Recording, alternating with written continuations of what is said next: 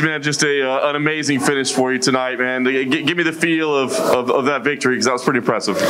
Yeah, man, I feel feel amazing. You know, uh, I took the fight short notice, two weeks. Uh, you know, I'm a veteran in the sport, so I knew I knew I knew how to fight. You know, no matter what. Uh, I wasn't able to make 135. We made the fight at 145, so I'm thankful for that. And uh, the power showed, man, at, at, featherweight. I don't think I could stay at featherweight, but the power was there for sure. Not necessarily an easy fight, right? He was definitely having some successful moments at first. So as the fight was playing out, kind of what were you seeing? What was going through your head? Yeah, I you know first round I start slow a lot of the time, and uh, I think he knew that he was coming out a little powerful. He's an undefeated guy. He has a lot of confidence, you know, but uh, that gives me a little chip on my shoulder to to give him that that first loss, and uh, you know I was happy to do so. Oh, and an emphatic finish, man. Obviously, what's the feel of something like that, right? I mean, it's an amazing finish. Normally, the roar of the crowd would be insane. It's just you yelling. You're right. Uh, yeah. What's what's that? What's that feeling like for you? It was still kind of cool, Migs. I heard like Jon Anik and uh, Felder like, "Whoa!" Like I heard that crystal clear, so that was cool to hear. Uh, it was an interesting experience. Uh, I felt like I handled it really well. You know, no fans, just kind of kept focused, looked straight ahead, and just uh, just went with the flow of things and enjoyed it. It, it. it, was nothing. I'm sure I'm gonna have to do it again too. So, yeah, good point there. Uh, looked like you had a conversation with Dana afterwards. Can you tell us what, what was said in that conversation with Dana? I told him uh, I want my tie dye shorts. You know, I'm stealing a little swag from Bryce Mitchell here. I know he wants his camo shorts, so I want tie dye shorts. What's you know what's the difference? So I was saying that, and then I was saying uh, I told him to to roll Sean O'Malley up in a joint so I could smoke his ass. Why O'Malley? I mean, he's a guy that seems like I mean, everybody calls him out, right? It seems like everybody's asking for a fight with him. Why O'Malley? Well, I mean, it's kind of it's kind of obvious. You know, the, the UFC loves the guy. He's got a lot of hype behind him. He's one of those star in the making type people. So for me, it's a it's a business move. Like it's nothing personal, but I want to I want to steal that hype. You know, I want to I want to make myself a star in the sport and, and and and put that all behind me. So that's the way to do it. You know, to take a guy out like that. Um, I'm willing to you know fight a guy like him and then you know move up in the rankings. You know, eh, hopefully in the top ten after that. Uh, I saw online that you had uh, some praise from Darren Till. I just and sort of didn't understand what he's saying. What was that like, just to receive that?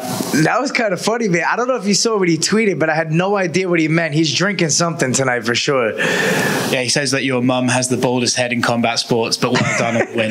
yeah, I don't know. I think this comes from your grandpa, right? When you when you're bald like this, you lose your hair. I think it comes from that side. So it is my mom's dad. So he's kind of he's kind of right. Uh, Brian, uh, what's this around your neck you got? Oh, you know what this is. I'm keeping this tight, close to my heart. We got Tiger's Eye right here. We're two for two. We, I think this is another bonus, right? I mean, come on. I, I, you know, it's going to be hard to beat that tonight. So, um, keeping the Tiger's Eye close. Actually, kind of funny. Uh, my brother's girlfriend, uh, you know, her friend owns a crystal place, right? She uh, she gets me a bracelet for my fight. She's like, uh, yeah, just you know, they picked it out. They thought it was good for you for your fight fight. I'm like, oh, what is it? I look at it. It's a tiger's eye bracelet. You know, what do you know? So uh, it's just kind of drawn to me. So I gotta I gotta stick with it. Hey, Brian, I know you had a Sugar uh, Schmo, Sugar Sean show song. Do you have a song for today? You had a Fight Island song also. Sugar, now you got no wings. That's it? No victory prepared? That's it, man. That's it. Okay. okay, we are now joined by Brian Kelleher. Uh, first question goes to James Lynch with the score. James, your line is open. Hey, Brian, congratulations on the victory. Uh, first, I got to ask, how was it fighting at featherweight tonight and not having to cut those extra pounds? You know, it was uh, it was a big difference, especially uh, coming into fight week, not really having to stress it too much. You know, uh, I was like 164 pounds like two and a half weeks ago, so I knew I couldn't make bantamweight. Um, but you know, I got the weight off pretty quick. I got down to you know 155 ish, like as I got closer. And um, man, the power showed at featherweight. Uh, I had a lot of power behind those punches. It felt a little different than bantamweight, but uh, I don't think I could fight these big featherweights. Anything about Hunter surprise you in this fight? Not really. Uh, he did a lot of the things that I watched that I saw on tape. You know, his tendencies are to throw wide hooks, uh, low leg kicks, a couple of uh, left body kicks he walks into. I kind of saw everything that I expected from him. Um, you know, he he uh, he felt strong in there. He definitely hit pretty hard, but I uh, I weathered the storm. I stayed patient, and uh, and I I get better as the rounds go on. And that was your first uh, TKO win since October of 2017. Is there a bit of a weight lifted off your shoulders? I know you've had submission wins, but getting that TKO finish is always nice. Well, that, there's no T in that. that. That's a KO, right? Yeah. Yes, KO. Yeah. yeah. So uh, it's been a little while, man, but uh, it feels amazing to get that. You know, I'm a finisher. Like whether it's submission, TKO, KO. Like I always, I always look to finish the fight. So uh, for sure, when you see me fight, you're gonna see some finishes. And last one for me. I know you wanted some custom uh, Reebok gear. Uh, why not the New York Islanders co- co- colors? I was kind of surprised by that. Hey, you got me there. We should have asked for that. I figured tie dye shorts would be fitting for the O'Malley fight, you know? Enjoy the win tonight, Brian. Thank you, James. Appreciate it. Uh, up next, we have Gabriel Gonzalez with Cageside Press. Your line is open. Hey, Brian, congratulations. Obviously, Hunter had a very good start to that fight. Can you just talk about what instruction you got in between rounds going into the second? Man, that's a good question. Right now, I can't recall exactly what they were saying. I think uh, mostly just let go of my, my punches, you know, uh, get in range, get a little bit closer. Don't have to throw too much power behind it, but just touch him up a little bit. Like once I was jabbing him and uh, and committing to to my punches, I started to piece him up a little and uh, I saw him started to fade a little bit once I started to land.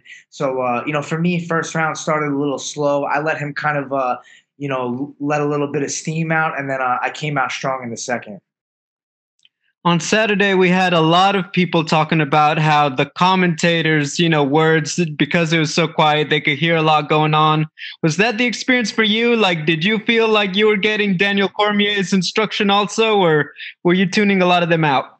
No, you know, I didn't hear any instruction as far as like what they were commentating. I definitely heard voices, you know, it was different. Uh, but I heard my corner crystal clear. I heard uh, Hunter's corner as well. It was kind of funny. Uh, I heard Hunter's corner say, "Oh, that was nice. You broke his nose." And I'm sitting there and I'm I'm in the middle of the fight thinking, "Oh shit, like did he really break my nose?" Like I don't know, you know, I have adrenaline. So I saw something in the corner of my eye here and I started to wipe it just to see like, is that my nose that I see? You know, is my nose all crooked? So they actually got me with that. You know, it was interesting to hear what they were saying and to hear my corner crystal clear. Finally, you're now building this reputation, the contender series killer. Can you just talk about what is it about the Sean O'Malley fight that gets you pumped up for the matchup? Is it just his name? Is it the style? Talk to me. Yeah, man, it, it's just his name, the hype. You know, the UFC. I know how they do things. You know, uh, they're they're they're trying to you know bring these these guys that have star potential up slow and and you know give them the you know matchups that that are more favorable for them potentially and and I know uh, at some point you got to just fight who they put in front of you. It doesn't matter you know at some point if you think you're the best you got to fight anybody who they put in front of you. So uh, I'm I'm just trying to steal that hype you know and I'm trying to make my career better uh, you know if he's going to be a star and I take him out then I'm going to be a star. Gotcha. Brian congratulations. Thank you. Thank you. Up next we have Shaquille Majuri with MMA Mania. Hey Brian congrats on the huge win man Thank you. I appreciate it. Now, for those not in the know, uh, Brian Kelleher is, as far as I'm concerned, the best rapper in MMA. When's the album dropping? I know we, we got to come out with some more songs, man. They got me singing over here at the post fight media day. They got, uh, you know, I got some songs in the works. Uh, I got some songs on Spotify, but uh, I definitely want to make like a full album or a full mixtape and then release it all together at once. Um, it's hard, man, because when I'm in these fight camps, like I'm 100% focused on the fight game. So, uh, you know, sometimes I write and I kind of do things in between my training sessions, but uh, I definitely don't put enough time into it to make what I, you know, the quality that I really know I can make. So I got to put a little bit more time in after the fight now. Uh, speaking of quality, that was a quality KO. Uh, there's like a lot to unpack in that moment. I'd like it if you can break it down for us because you drop him, you're ready to celebrate. You know he's out. There's like a quarter of a second. You see the referee's not jumping in, so you go for the follow up. Can you like walk me through everything that's going in your mind from the moment you land that shot? Yeah, so he throws an inside leg kick. I counter with a left hook. I kind of I kind of feint to the to the left side, and then I throw my left hook, and I could just feel it in my my glove, like the way that it connects is like, ooh, like I know that that was the shot. Like I see his chin kind of snap. He falls back. I'm looking at him. I see in his face he's out cold, you know, and I know, and I don't want to. uh you know, continue to inflict more damage on guys if I don't have to. So, you know, I, I, I kind of see the ref pull up beside me, but he's not stepping in to stop the fight. So I have no choice but to follow up and finish. And I really uh, hit him good with two hammer fists, and then the ref stepped in there. It's incredible how much you can process there in such a short amount of time. Last thing for you, uh, I heard on the broadcast that you did have a chance to uh, connect with Dana White real quick. Did you talk about the Sean O'Malley fight at all? And if so, what did he say? Yeah, yeah, I told him I want the tie dye shorts, you know, for the Sean O'Malley fight. I felt like that was fitting, you know. So I was telling him that, and then he was telling me actually that uh, the odds when uh, a lot of people are betting right now, you know, because sports are, are not really going on.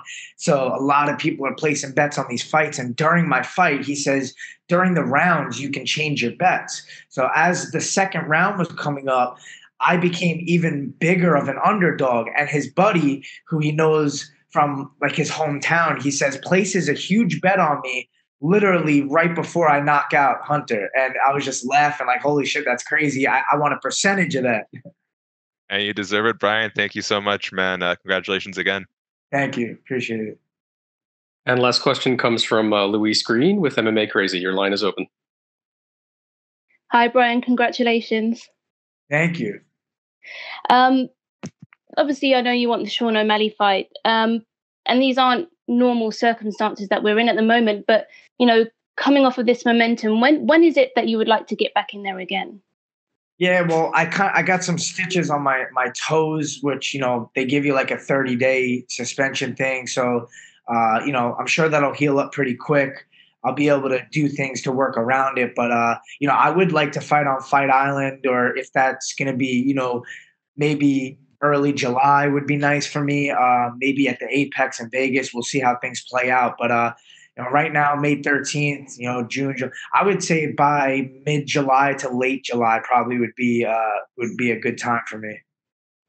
Okay, and, obviously two back-to-back finishes now. Is there anything that you can kind of put that down to? Anything that you've maybe changed going into the last two fights that you can, uh, you know, uh, credit your your performances to?